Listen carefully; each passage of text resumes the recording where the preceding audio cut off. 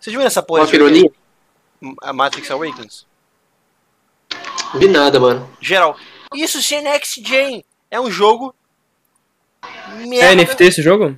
Não é NFT, é o primeiro passo. Não é Então é NFT. ruim, pode fechar. Não é NFT, Ah, do Matrix. Eu vi, eu vi, eu vi, eu vi. Eu vi Cara, não. Aí, ah. tipo, cara, é um jogo de papai andando, sendo que isso aqui já teve antes da, da Unreal Engine, não teve?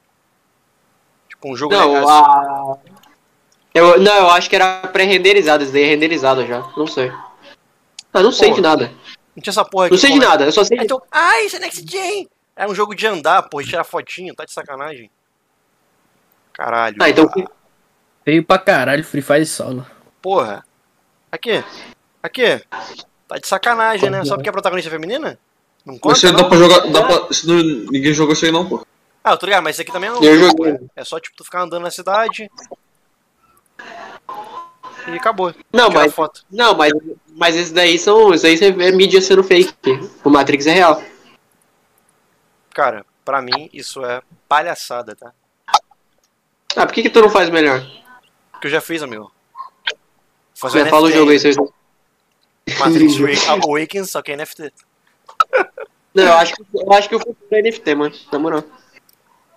É o Ives. Eu joguei, é muito vazio, mas é lindíssimo, lindo pra caralho. Caras massas. É, muito como vazio. Sempre manipuladas. Ah, as É, se o seu cérebro for vazio, o jogo obviamente vai ser vazio também, né, ô? Seu geek.